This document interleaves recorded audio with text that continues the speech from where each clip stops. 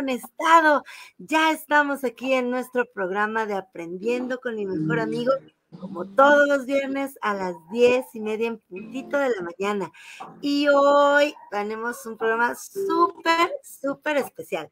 Tenemos ahí con nosotros, ahí la están viendo, a la doctora Carmen Ortiz, es médico, veterinario, zootecnista, pero además ella es especialista en fisioterapia y rehabilitación por la VM, ¿cierto, Carmen? Sí, ¿verdad? Y ella es la que dirige RPM Center, donde se dedican a la rehabilitación y fisioterapia en los perros. Y entonces hoy nos tiene algo súper especial, porque siempre eh, cuando hablamos de estos temas, pues mandamos fotos y videos y todas las cosas, pero dijo, no, ¿saben qué? Vamos a ver los casos en vivo para que vean qué es. Pero antes de que empecemos, Carmen, platícanos, ¿qué es lo que, lo que se hace en la fisioterapia y en la rehabilitación? ¿Para qué sirve para los perritos? Mira, en el caso que, vamos a ver tres casos, muy, muy rápido. El caso que tenemos aquí se llama Coca. Ella es una pitbull. ¿Qué edad tiene ahí? Tiene dos años y empezó nuestro trabajo con Coca el, el 9, el 9 de diciembre por displasia de cadera y, luxación patelar o de rodilla. Ahorita ya nada más estamos en la tercera etapa de la fisioterapia, eh, que es la fuerza y la coordinación de los, de los músculos. Ella trabaja la pierna izquierda. ¿Qué es, la, ¿Qué es la displasia de cadera? Porque acuérdate que aquí hay gente pues, de todo tipo y que se quedan así, ¿qué carajos es la displasia de cadera? ¿Y qué la displasia de, cadera es una incongruencia. Claro. La displasia de cadera es una incongruencia entre las dos articulaciones de eh, la cabeza femoral y la cadera. Esa mala conformación nace con ese problema y ella lo tiene en la pierna izquierda. Lo tenía, se operó el 9 de diciembre y ahorita estamos viendo su rehabilitación. La movilización que ella tiene es lo que estamos trabajando, la mejora de fuerza muscular si nota su pierna izquierda es más delgadita, pero el tiempo que tiene trabajando ella ha tenido una evolución bastante favorable. Mira, sube, ella hace la extensión completa y utiliza los dos miembros. En un postquirúrgico, esto es lo que esperamos en el tiempo que tiene. O sea, lo que estás haciendo son todos los ejercicios que tiene que hacer alguien cuando acaba de tener alguna cirugía, así como a los humanos que te dicen, párate y camina, párate y mueve los brazos, párate y haz algo, ¿no? No sé si alguien alguna vez se ha roto un brazo y te ponen el yeso y cuando te lo quitan, pues tienes, ya no tienes musculito, está flaquito, flaquito, flaquito. Y entonces, ustedes es lo que hacen, ¿no? Hacer que el músculo y la función vuelva. Claro, mira la movilización de las piernas ella no ha dejado de mover las piernas después de la cirugía y eso es lo que buscamos, que no se atrofie la, muscular, las articulaciones. Ahí está un sentado perfecto de, las, dos, las dos piernas. Y eso sí, sin duda es trabajo de todos los días en casa. En casa su mami la apoya bastante con la movilización fue bastante estricto su, su cuidado en posquirúrgico y bueno, aquí está el resultado. No hay dolor, no hay incomodidad a la, a la posición y ella responde bien al estímulo. ¿Cuánto tiempo tiene de que, de que tenía, qué problemas tenía esta perrita? O sea, ¿cómo se veía la displasia? ¿Por qué al final dijeron, híjole, hay que operarla? Correcto. Ese punto es muy importante, Moni, que a veces como dueños creemos que, que está bien nuestro paciente. Ella le empezaron a detectar con movimientos de cadera como si bailara, como si se moviera muy cadenciosamente. Y el sentado generalmente era de lado. El sentado que tiene ahora es el correcto, ese es el correcto, y todo lo que no es, eh, lo que no es ese sentado es incorrecto. Sentado de lado, sentado con las piernas hacia adelante, esos son signos de displasia de cadera, generalmente. Otro signo es de dolor. Cuando salen a caminar, 10, eh, 15 minutos, a los 20 minutos que les toca el regreso ya están muy cansados. Eso es dolor y eso es displasia de cadera. Ahora, ella tenía un segundo problema que era la rodilla.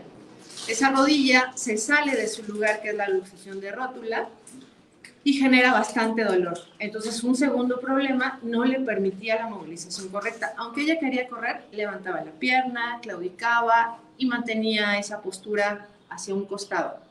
Son los perritos que, dan saltitos, ¿no? Son todos esos perros que dan saltitos. Cuando van caminando, todo el mundo dice, ay, qué bonito, mira, da saltitos. No, no es bonito, amigo. Es correcto. El perro está con algún problema en las patitas y es lo que tenemos que estar este, revisando, porque a veces no lo creemos, ¿no? Y luego, platícanos entonces. Vamos a ver dos casos más. Ajá, pero, antes, de que vamos con nosotros, antes de que nos antes de que te lleves con el otro, platícanos de esta perrita, ¿cuánto tiempo estuvo de que el dueño se dio cuenta, la operaron, que no podía, pues después de la cirugía y hasta ahorita? Ella tiene dos años de edad. En febrero cumplió dos años. A la edad de un año, seis meses más o menos, ellos detectaron que ya no tenía el mismo rendimiento que tres o cuatro meses atrás y ellos empezaron a ver cómo se disminuía la intensidad del trabajo, de, juego, ya no quería jugar constantemente.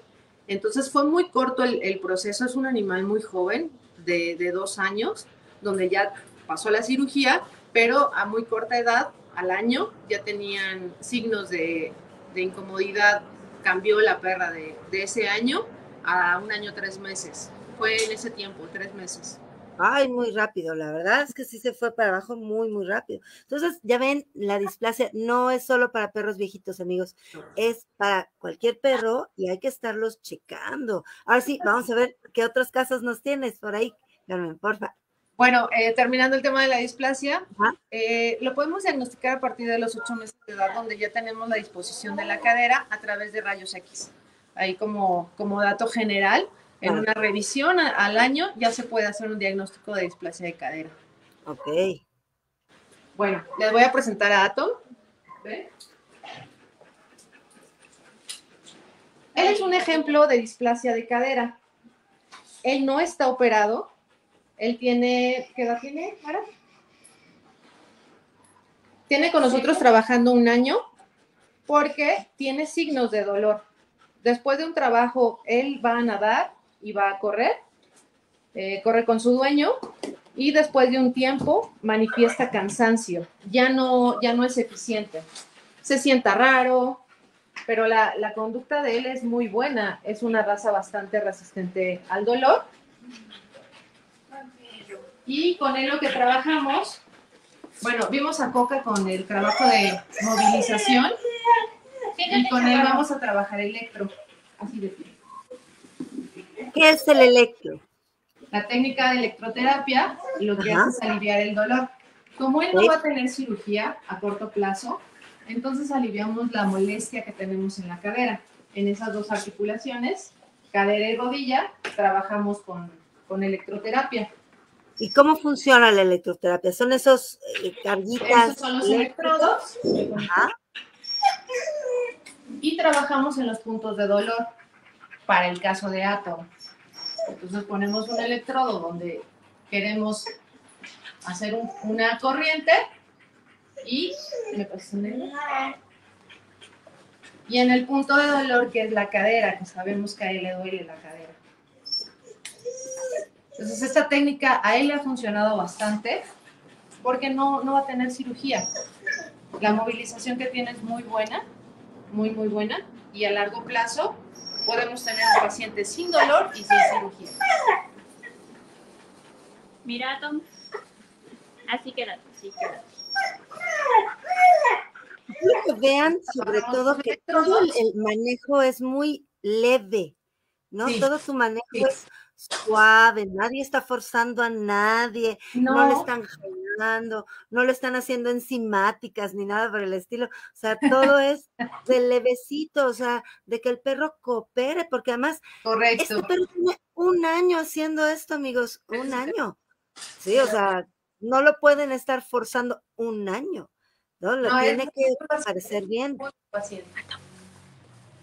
Y ellos se acostumbran. La verdad es que el, perro con el, con el manejo de, la terapia va entendiendo que se siente mejor.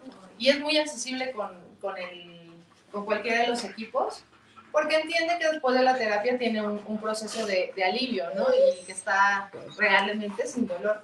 Eso es muy, muy importante para, para el paciente, que no sienta dolor. Claro, y aunque se empiece a sentir mejor, que tampoco se esté moviendo como loco. Claro, Mira, en la parte de adelante estamos trabajando con magnetoterapia, que esta es otra de las técnicas, porque en la parte de adelante, porque él al tener dolor en la parte de atrás, descarga todo el peso hacia adelante. Y hay contracturación muscular. ¿Qué es lo que hace el magneto? Relajar la muscular. Y la verdad es que no se siente nada. E, ellos lo trabajan bastante bien, es muy eficiente el, el equipo y termina relajado. Entonces trabajamos hacia adelante y trabajamos sí, atrás en el caso de la displasia de él. Y sí, la verdad es que no, no forzamos nada de, del trabajo que ellos, que ellos hacen. Nuevamente hablamos de la, de la displasia. Muy importante. Si una parte está afectada del músculo, del hueso, de lo que sea, pues el cuerpo va a compensar por otro lado y esa parte que se está compensando, pues no va a estar muy a gusto porque le está dando trabajo doble.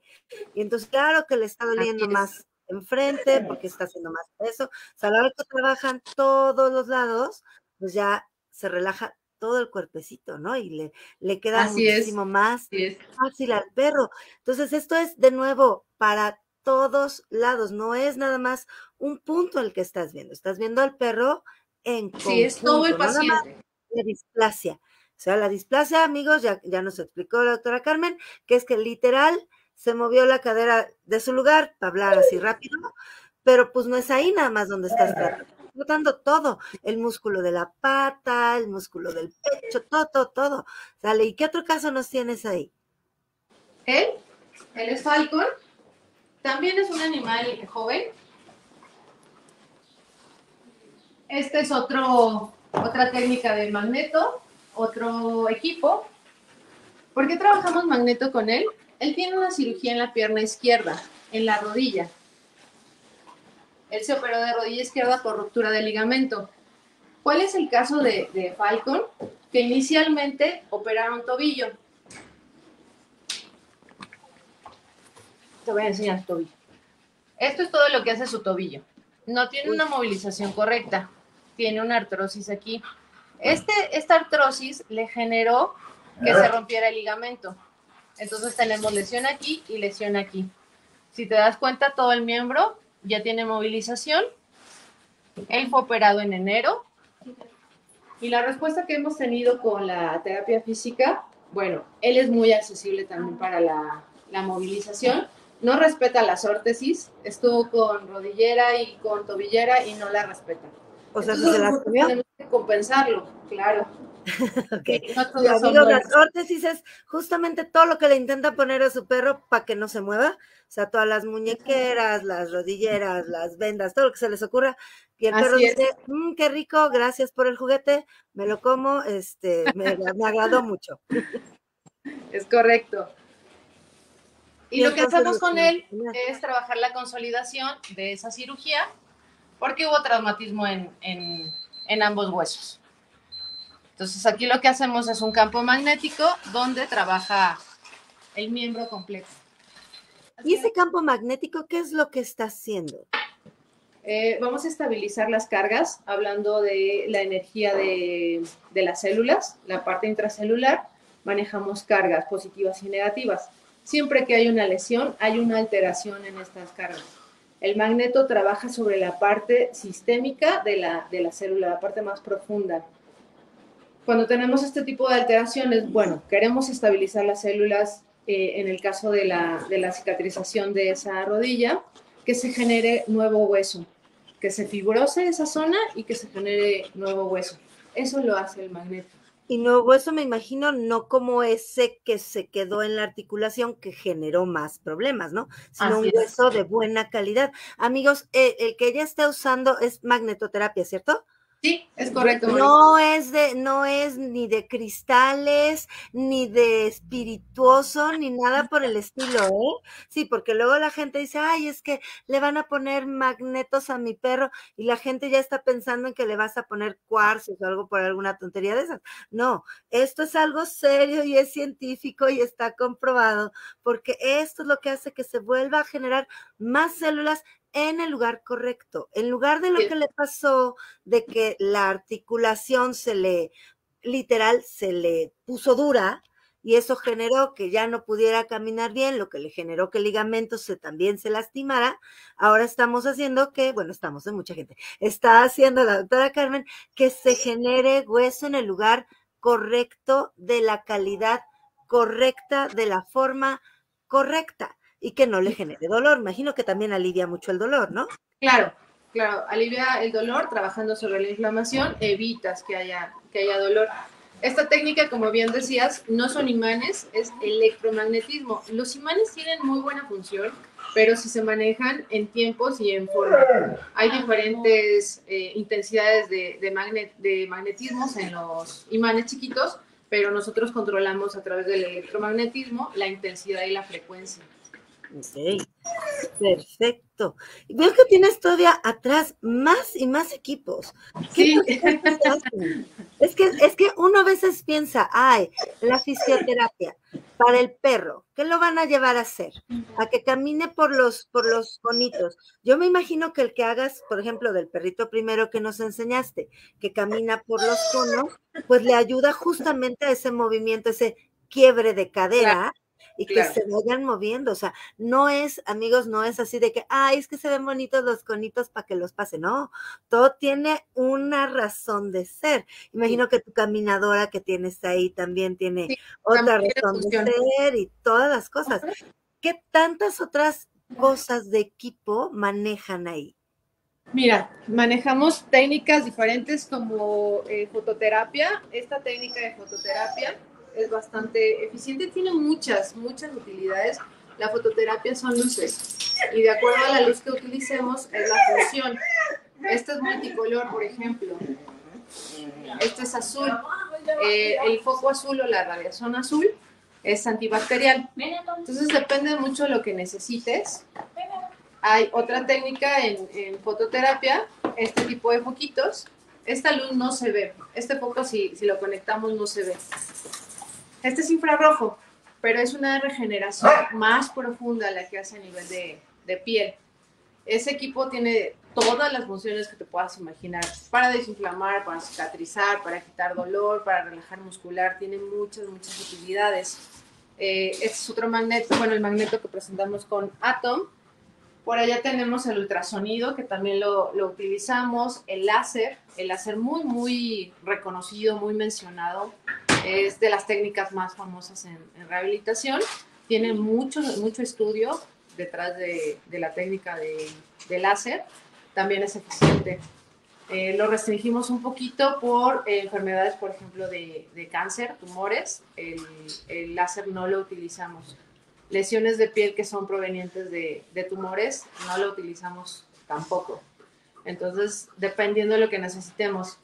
Eh, por allá tenemos la técnica de ozono, que me parece que ya hemos hablado un poquito de la técnica de ozono. Eh, la, funcionalidad también, muy versátil, las formas de, aplicar el ozono también, muy versátil. Es otra de las técnicas que queremos mucho, porque no es invasiva, no es eh, nada dolorosa, incómoda, y a ellos les va muy bien con el, con el ozono. Si quieres regresamos un poquito con Coca y vamos a hacer otro ejercicio con, con ella. Sí, vamos a ver. Sí, bueno, que aquí estamos, nos robamos a tres, a tres pacientes de la doctora Carmen para, para que les vayan haciendo su trabajo y le estamos literal chismeando cómo le está haciendo todo el trabajo, porque es un trabajo integral, no es, ay, nada más te voy a dar ozono. No, no, no. Esos son más los ejercicios, más todo. Y que además el dueño tiene que trabajar en casa también. Claro. Mira, ella ya está en la etapa 3, donde estamos trabajando la fuerza, y estas pelotas lo que nos ayudan es a posicionar la muscular y la fuerza de ella hacia los miembros posteriores. Esos son discos de propiocepción. Mándenme monones y yo también te creo. Sí, mi vida, sí, mi amor. Y mira, lo que ella hace es un balanceo. Hacia acá, mi amor. Hacia acá, hacia acá. Eso, Coca. Muy bien. Ahí me quedo. Ahí me quedo, Coca. Eso. Muy bien, mi amor. Y además va con masajito integrado. Eh, para quien ha ido a algún gimnasio alguna vez, le ha tocado hacer cosas en pelotas de yoga o cosas en cosas que se están tambaleando, porque justamente eso genera músculo, o sea, genera que tienes que hacer fuerza muscular. Y es justamente lo que le están haciendo a Coca en este momento, pero de una forma bien integral a lo que ella realmente necesita. Y quienes desgraciadamente humanos han tenido que ir a fisioterapia por alguna razón, pues saben también que esas cosas se ocupan en humanos, ¿no? Pero lo más interesante es ver cómo Coca se deja, lo disfruta, o sea, si ella no, si ella no estuviera a gusto, ya hubiera movido y tirado a todo mundo y dicho, sácame de aquí. Y, no, o sea, claro, porque el perro pues va sintiendo alivio y va sintiendo que no le, no le debe ser tampoco muy fácil hacerlo, pero pues sabe que tiene que, que mantenerse, ¿no? Y el, y el trabajo, la parte más dulce es esa, el trabajo es súper, súper bonito, ¿no? De que nadie está forzándose a hacer nada. Ponte tú nomás la patita para acá y aguántate. Y va a haber masajito que se ve que le está haciendo rico. Esa cara de, ay, otra vez por ahí, por favor. Y listo. También quien ha tomado un masaje sabe que nunca es ese masaje que vemos en las películas acá relajado, sino que a veces te asusta, duele, pero cuando sales ya sales todo relajadito, ¿no? Lo mismo está pesando en la cabeza de Coca en este momento. Me va a doler cuando me pongan el dedo, pero después se va a empezar a sentir bien. Ay, qué bonita. Sí, mi amor, sí, te gusta. Sí, se van adaptando, Moni. Evidentemente, en la primera sesión les cuesta un poquito de trabajo esta posición que ella, que ella tiene que adoptar, abrir los miembros para estirar los músculos de la parte interna, es de las más difíciles, la posición de rana. Y ella la ha estado practicando, entonces ya viene medio entrenada. Sí, mi amor. Sí, arriba, arriba, toca. Eso. Muy bien. Abajo. Bien, toca. Otra vez arriba. Arriba. Sube las piernas. Sube, sube, sube, sube. Eso, toca. Muy bien, mi amor. Abajo. Eso. Para ahí. Ahí para. Eso. ¿Y qué pasa cuando tienes perros que les dan miedo hacer las cosas o quedarse quietos o alguna, alguna cosa, sobre todo las primeras sesiones que deben ser paciencia. Mucha paciencia, Moni. Porque evidentemente no los podemos forzar eh, a hacer algo que no conocen. En el caso de Coca, bueno, ya tiene tiempo trabajando con nosotros y entiende cuál es la, la dinámica pero las primeras sesiones no podemos ser tampoco invasivos. Hay técnicas como el electro que, que vimos ahorita que no utilizamos en la primera sesión. Se cansan mucho, aunque no es muy, no les pedimos a ellos que hagan nada, la técnica es exigente. Entonces primero trabajamos la terapia manual, mucho masaje, mucho apapacho y ya posteriormente eh, empezamos a introducir las técnicas, particularmente te digo electro. Pero sí, es, es mucho estar apapachándolos, besándolos, explicándoles qué es lo que, lo que pasa y ellos lo van entendiendo perfectamente. Perritos agresivos que, que, en alguna ocasión, pues sí hemos tenido, lo platicamos con el, con el dueño, eh, ellos nos, nos, dicen, por ejemplo, ¿no? Es que muerde. Ah, bueno, el manejo de ellos es un poquito diferente, pero llegamos a convencerlos, ¿sabes? No hemos tenido casos de, de renuencia de parte de, del paciente y pues ve súper tranquila. Dice la doctora Carmen que hasta ahorita tiene todos los dedos. Sí, todos, completos. Completos, ¿no? Hasta ahorita no hay ese problema. No, porque eh, yo creo que es otra cosa que, que uno como dueño tiene que tener en mente. Yo siempre les digo, tu perro debe ser de dejarse de tocar por todos lados porque justamente en algún momento puede llegar a tener un problema donde va a necesitar que alguien más lo esté tocando por todos lados. Pero e, en, otro punto es de que, bueno, el perrito se siente mal y dice, bueno, está bien, tóquenme, háganme y ya me sentí mejor. Y solito empieza inclusive a, entender que si lo toca alguien más no le va a pasar nada, ¿no? Hasta, hasta ayuda a, a sus problemas de comportamiento. Claro, y aquí hay un punto importante, Moni, que tocas, el, manejo de, de, nuestros pacientes. Aquí particularmente todos tienen dolor. Pocos pacientes, los insensibles, no tienen dolor, pero el 99% de ellos tienen dolor y su manejo es diferente al de un paciente sano. Entonces, hay cuidado con eso.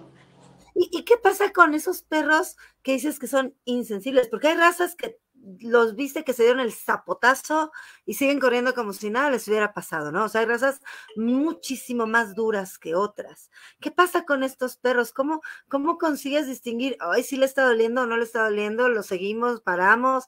Porque hay otras que son chillonas, que ya los tocaste y nomás les pusiste el dedito y ya hasta chillan que parece que, los estás que te los estás comiendo. Bueno, nosotros reconocemos las, las razas que son más eh, insensibles, que tienen un umbral de, dolor muy alto. E, es el caso de, un pitbull, donde el dueño, bueno, te refiere ya muchos comportamientos diferentes para que tú identifiques el dolor. Entonces, hay técnicas que nosotros utilizamos manuales cuando hacemos la revisión, donde ellos reflejan dolor. Bueno, ella no lo va a sentir porque está muy, muy relajada. Voy a hacer una presión un poquito más fuerte. Mira, ahí ella respondió al dolor pero es un pitbull, entonces es, es fuerte, su muscular es muy fuerte. Y con ese tipo de exploraciones nosotros sabemos si sí hay un dolor y qué grado de dolor hay. A veces el dueño no lo percibe como dolor, sino como un cambio de comportamiento nada más. Voy a cocar. Ajá, entonces sí es importante que a la revisión médica podamos identificar si hay dolor o no. Claro. Y eso yo creo que también es un punto muy importante a, algún día hacer una plática de eso, Carmen, de cómo identificar que mi perro está bien o no.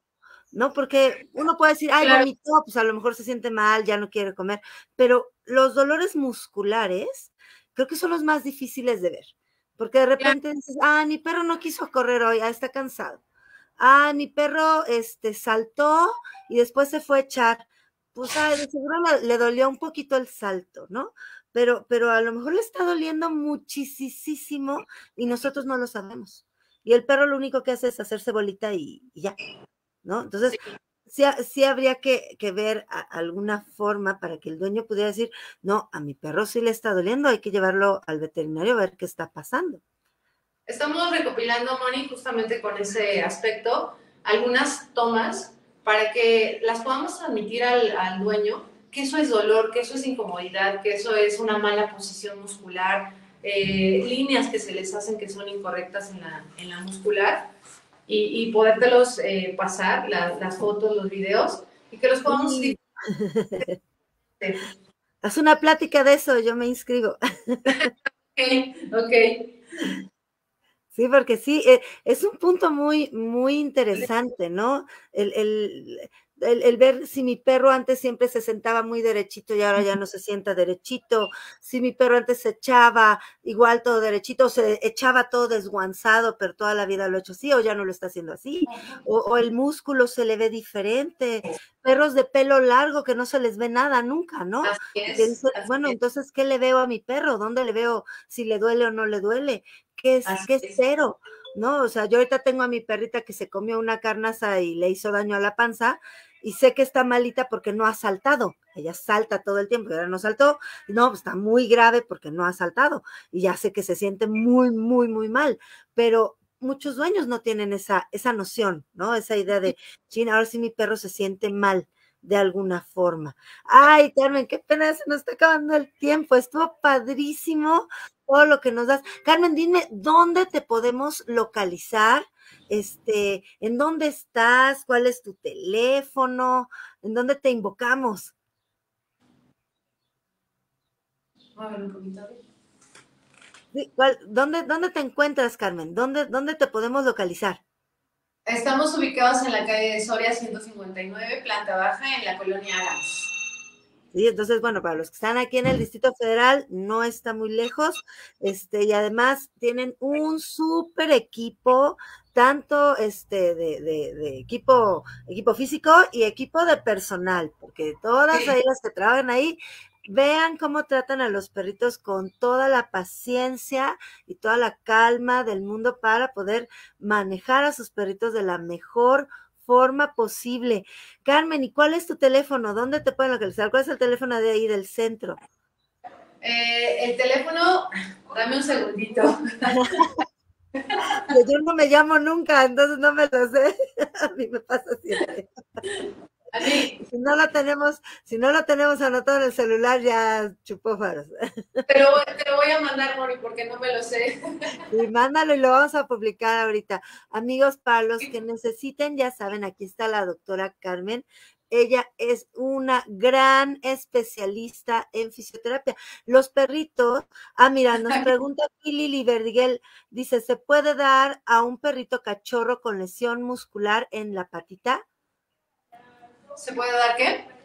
Eh, terapia a un perrito cachorro con una lesión muscular en la patita.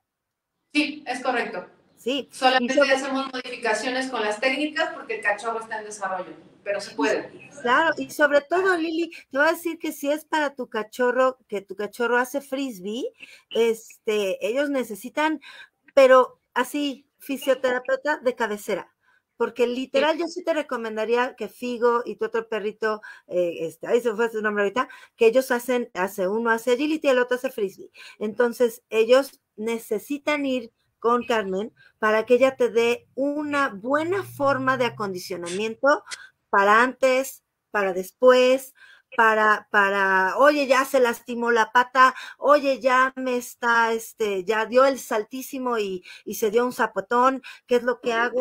Sí, porque a veces, este, pues nosotros veterinarios leigos, pues te voy a decir, ah, pues dale un antiinflamatorio y se acabó el punto. Pero, pero sobre todo perro deportivo requiere algo más. Eso sí requieren algo más porque pues vas a necesitar que la semana que entra esté bien y entonces pues que ahí te puedan dar muchas recomendaciones. Entonces yo sí te recomiendo chécate, este, ahora sí, dinos tu, dinos tu, teléfono, porque a Lili le va a interesar poder contactarte, y si no, yo le mando al rato tus, tus datos.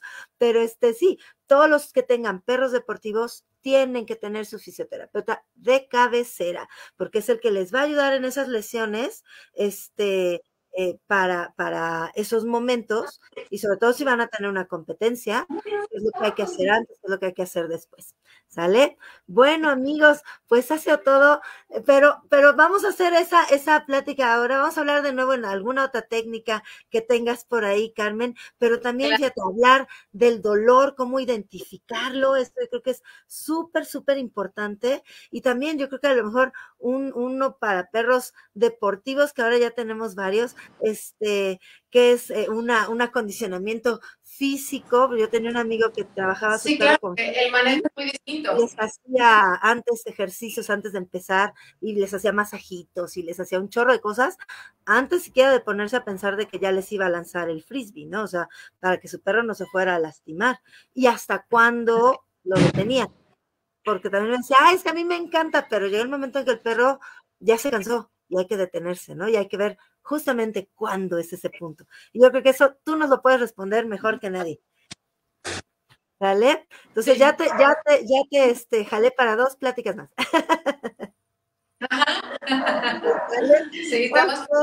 Carmen. Pues muchísimas gracias, estuvo súper interesante. Y pues ya saben, si quieren contactar a Carmen, bueno, ahorita voy a publicar en los comentarios su teléfono y todos sus datos. Y si no, pues ya saben, ahí está también mi celular, mi WhatsApp, mi Telegram. Mándenme un mensaje y yo les mando ahí toda la información al respecto de la doctora Carmen. ¿Sale? Pues cuídense mucho, amigos. Nos vemos la semana que entra y apapachen mucho a sus perritos.